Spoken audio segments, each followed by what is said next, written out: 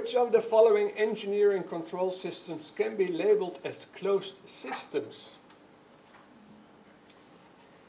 And I know you know, as I said already, what closed systems are, so they protect yourself. It's a barrier, barrier product. Well, five answers again. Biological safety cabinets 2, type 2 and 3. I'm not sure if you use a lot of cabinets here in the UK, but uh, probably. Negative pressure isolators, positive pressure isolators, all of them or none of them.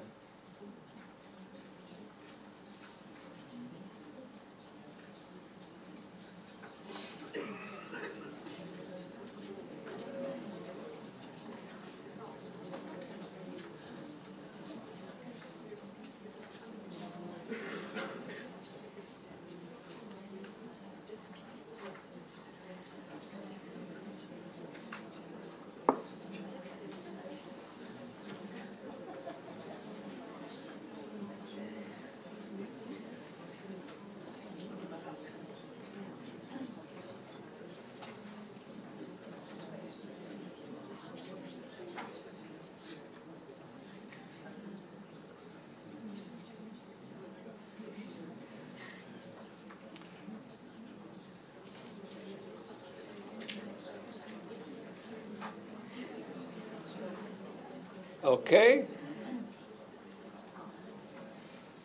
68% voted for none of them. And 70 said all of them. Oh, that's a little bit different. okay, okay. Well, actually the answer on the question is five. None of them are closed. So I hope that I can convince the 17% who said all of them, that it's none of them. Actually, cabinets, as I said before, is, is an open system. An isolator is also an open system. So at the end, you have to open to get the drugs out, and it's the same with a cabinet. So they're not closed. Protection about, uh, against exposure to cytotoxic drugs. Well, there are, in fact, I would say four main things you can do to protect yourself. And it's not only what you do, but it's also what the government, what state, what uh, Europe, uh, Europe is doing. And uh, the first step is, uh, I would say, a lot of paper things, directive guidelines and things like that. So a lot of paper things you have to can follow to protect yourself against cytotoxic drugs. And uh, we have, of course, legislation here in the UK. You have international guidelines. So there are many, many, many much information you can gather about uh, how to handle in a safe way cytotoxic drugs. The second is uh, administrative controls. And that's, of course, also a little bit of a more or less paperwork. And uh, that's following protocols. You have protocols for preparation, you have protocols for administration, for probably protocols for cleaning and all these things. The third is, then it comes really to practice, it's engineering controls. And actually engineering controls makes a barrier between you and the, and the drug. And there we have uh, uh, three general options, I would say. That's clean rooms, working in clean rooms using ventilation, as I said already before, and you have the cabinets and the isolators. That is more or less engineering controls you have. And then in the end, you have your personal protective equipment. So how you, yeah, you put things on your body to protect you to be exposed. Well, the actual situation in the US is a lot of variety among these ways of protection. And there are countries where you have uh, probably a cabinet or an isolator, but where the protection of the workers is only gloves or sometimes even no gloves. And uh, I think here in the UK and I think northern, middle and south of Europe, then it looks quite all okay when it comes to personal protective equipment. But when you go to the east of Europe, then you see sometimes situations which would be the 70s and the 80s here. So there is a lot to do there. But uh, so it depends a little bit on, on uh, yeah, the country, the hospital, and uh, how uh, people protect themselves to uh, cytotoxic, uh, cytotoxic drugs. Personal protective equipment, PPE. Well, there are many things how you can protect yourself. I think most common nowadays are special clothing, gloves, masks, and goggles. I think that's the main thing you see nowadays. Hair protection, special shoes. Well, you can do a lot, a lot, a lot. There are many things you can do. But what is relevant actually that the PPE is always additional to the previous things like engineering controls, administrative controls. So you have always to do other things first, and in the end is the final step that you take PPE. And that's a very standard procedure in occupational hygiene. So when you're dealing with chemicals or with, with, with, with dust or whatever, the standard occupational hygiene strategy is that you take always PPE in the end. You have to do a lot before to prevent exposure, and if you expect it or you, you, you think there may be an accident or whatever that can happen, there you have your PPE, uh, PPE for. That's the standard procedure actually. And nowadays a lot of people focus very much on PPE. The more PPE you take, they think the more safe you are, but that's probably it is, but it's better to prevent that you get exposed. Okay, in the end, when um, we know that people work with these drugs and uh, we know that sometimes uh, people smell the drugs. Uh, in the end, you have the opportunity to do monitoring. And monitoring is actually what you can do in two ways. Um, one way is that you check in the environment. So the working environment can be the, the wards, that can be in the pharmacy department, can be in clean rooms, can be everywhere actually. And the other thing is that you look into the worker itself. So you go into the body of the worker and check if the worker is expo exposed or not. When we go to environmental monitoring, which is indicated in the left, then we check the environment, but we get no information if people are exposed or not. So for instance, if we check contamination on surfaces or wherever and we find contamination there, there is no indication that that contamination results in exposure because people can be protected well and so on. So it doesn't give that information. And we cannot make a risk assessment. So that's the point, good to know when you go to environmental testing. But a lot of people say, well, I'm fine with all this environmental testing. I want to, to know if I'm exposed. If I take my PPE and I do uh, things according to guidelines and I think I'm safe, but I want to know if I'm exposed or not. And then you do biological monitoring. And nowadays there are tests, urine tests available that you select the urine, collect the urine of the workers and you analyze for the drugs if you can detect the drugs in the urine. And it's actually the same way as it is done in the sports events, like uh, if you have cycling or sports, that you check uh, sports on drugs and things like that, if they are exposed or not. So this is actually the same way you can do it. So it's a little bit of difference between environmental testing or biological testing. This is what we do as a company. It's just for your information. We have two types of testing available on the market. Monitoring surface contamination by wipe sampling. I will show that later on uh, and monitoring exposure of workers by urine analysis. So actually we can analyze urine of workers on three drugs, cyclophosphamide, ifosfamide, and a 5-FU metabolite, and by workers, which we do for, for some hospitals, and we also do for pharmaceutical industry.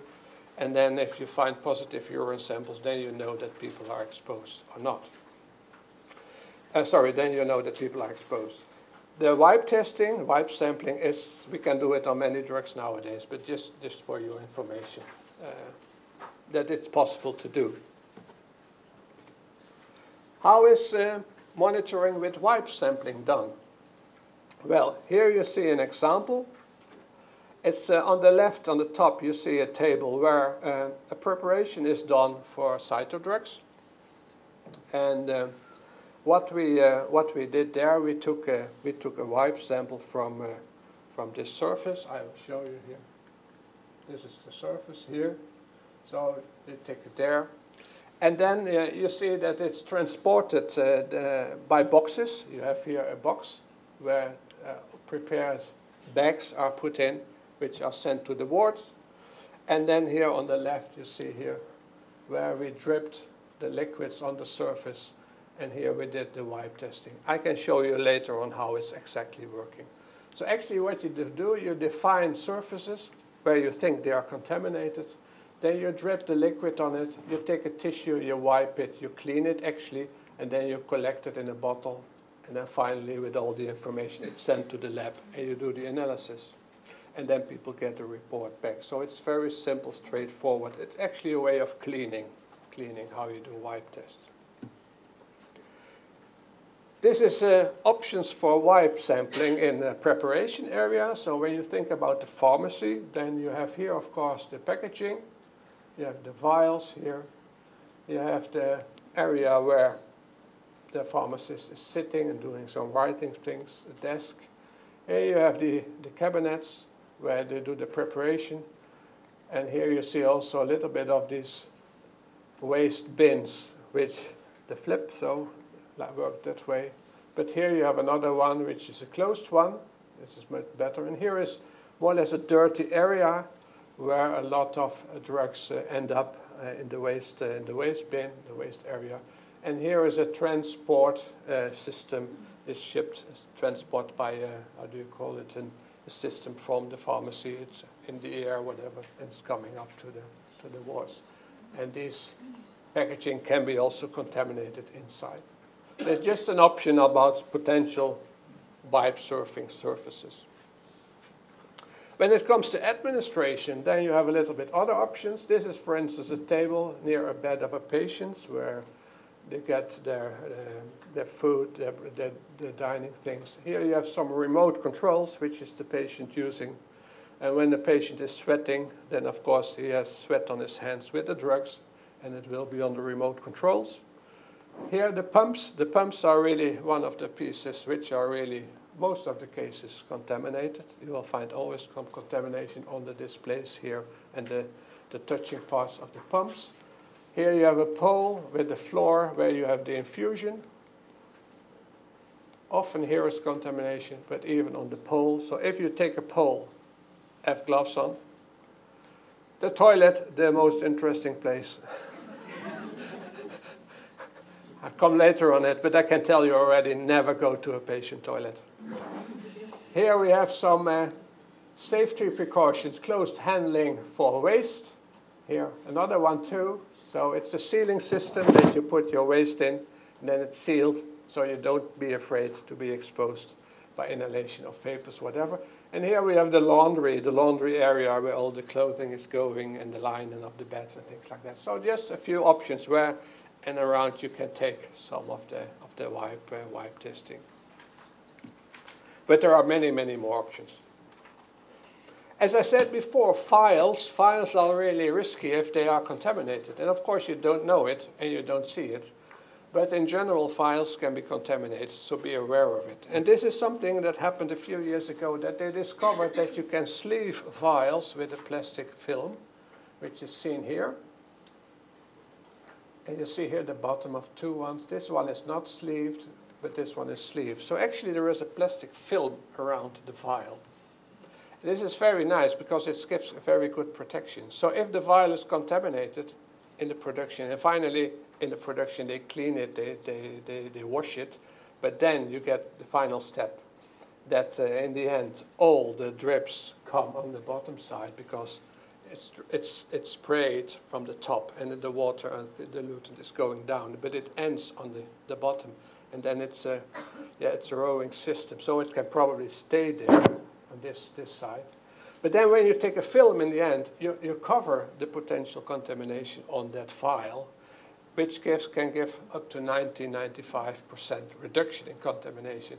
So if you can have these sleeved vials and you can buy it for your drugs, it can give a good improvement on safety. Here are two other examples. Oh, this is a study, sorry, we did on these vials. It's already a long time ago, 2005.